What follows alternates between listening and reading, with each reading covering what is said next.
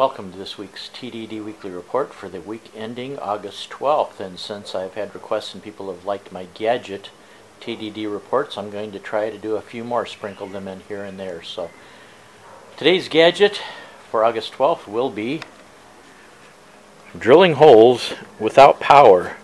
Now I've got some various tools here. Two of these are uh, a brace and bit, auger brace and bit. This is an old classic one from the 1960s. This is a Stanley. You can get these on eBay. I'll have uh, down in the description, just look in the description, I'll give you prices. You can find these on eBay for probably in the range of 20 to 30 bucks.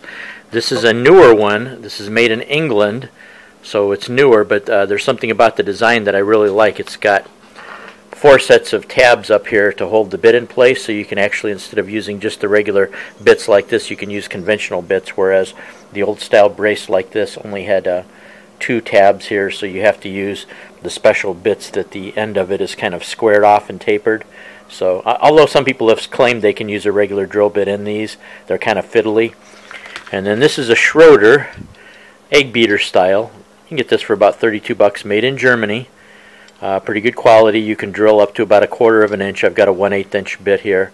And we're going to try these out today and see how they work. So in case you uh, maybe just want to try it for old time's sake or maybe you lost power and you want to finish a wood project, we'll see what it takes and what these things will do. So let me get you guys set up on the tripod and then we will do some testing. Okay, first off we are going to test with the German Schroeder using about a 1 8 inch bit. This is a newer piece of wood. If you have older pieces of wood, for example, this one, it's a piece of wood that's probably 20 years old, so it's work hardened. It would be very hard to drill through this. It's almost like drilling through hardwood, whereas this is a newer piece of pine, so it would be probably more realistic. This is not something you're going to drill through, uh, although, you know, technically, I guess if you had enough time on your hands, you could drill through steel if you had to, or sheet metal, but we're just going to drill through uh, regular wood just to give it a try here. We're going to put a little bit of pressure on it here and see what it takes to get it through this piece of wood here. Just kind of doing it slowly and carefully and just putting a little bit of weight on it. And it's through the piece of wood already. It's all the way through. There it is right there. So just pull it back out. There you got a nice little 1 8 inch hole. So now let me back the camera off again and we're going to try the brace and bits with the wood hardened piece of wood here. And I'm going to put it on top of this other wood so I don't drill through my workbench. So let me back you guys off a little bit here. Hopefully you'll still be able to see and hear me well enough. I don't think there's really technically going to be a lot of difference between these two. This is the old classic Stanley from the 1960s, and it's got about um, these both are just these both of these bits are just slightly less than a half an inch, so they should be roughly equivalent or at least enough for our purposes. So we'll see what it does. Hopefully this wood will stay locked in place and won't spin around a lot. So I'm just going to use a little bit of pressure from my hand and let's see how it goes here. I'll probably drill somewhat around halfway down through the wood and see how it goes as best as I can determine what halfway is. Um, there's very little effort. I'm putting almost no effort into it. The uh, drill bit itself is making all the effort, so it's really not like this really requires anything, and it's just, yeah, basically peeling up the chunks of wood. So I'm guessing that may be about halfway. Let's actually look and see. Let's back it out. I might have gone even past the halfway, so.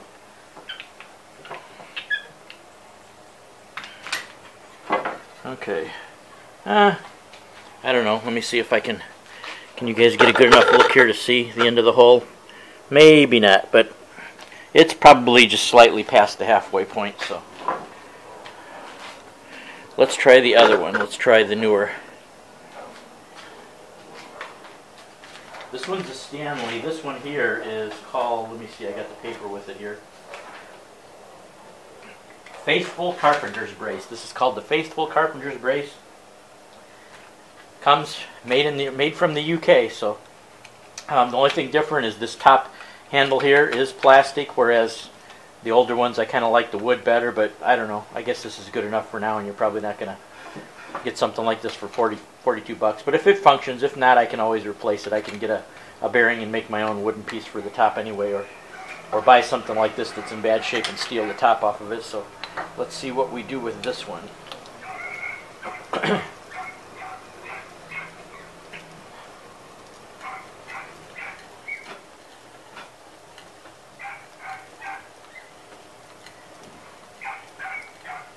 I think I'm probably going to be going all the way through if I go much more, so let's see what we got here. No, this is about halfway through, so on this one maybe if you can see. Yeah, this one you can see a little bit better. This is more like halfway through the piece of wood, so. so let me take you off the tripod here.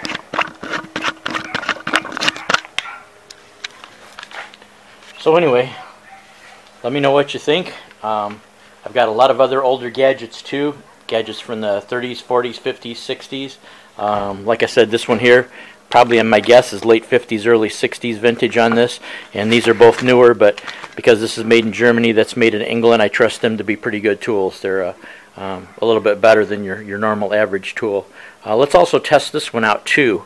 Uh, before I finish up, let's test this one out and see how it does with holding a, a standard bit. I've got a quarter inch bit here, so let's see if, like they say with the uh, with the four tabs here, let's see if it'll actually do the bit. So let me sit you down here, and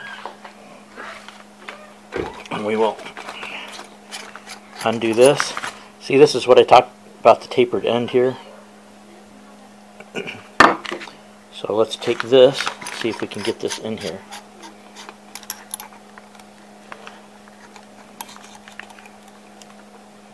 Hmm. I don't think so. Let's see. Is it going to be wobbly? Yeah, maybe it will. okay. Let's put you back on the tripod and let's give it a shot. See if we can drill a quarter inch hole with a bracing bit and a regular drill bit. Now I could, I would never even attempt that on the Stanley, but on this one with the uh, way it's set up with four tabs like that, it might actually hold it true enough. Let me see first if I can just see by eyeballing. Does it look like it's staying straight and true? Yeah, it does look like it's staying pretty straight and true. And that's probably what you would need to drill through hardened wood like this. So let me double check again and make sure I got you aimed real good. Yep. Okay, let's go for it with a quarter inch bit. See what we can do. Oh, look at that. Oh, now see it's it's kind of slipping on me. Yep. It's kind of slipping on me, so I may or may not be able to do it. Let's see. Well, there it's going. Oh, it's slipping again. But it's going through there. Is it going through there or is it actually going into the chuck itself? Let's pull it out and see how far we went. Well, by golly, it did slide in, but we went pretty far, so I don't know. Can we get this can I get that just a little bit tighter? Let's actually see if we can make it all the way through that piece. Let's go for it. Okay. No, it pushed its way in. That's the thing, it pushed its way into this, so I don't know if I can get a tight enough grip on it to actually have it stay in place. Let's try one more time. Okay, I'm just doing it by hand. Let's try one more time. Now what I'm doing is not what you're supposed to be doing with a brace anyway. This is not supposed to be used for regular drill bits. Yeah, it's, I would say, nope.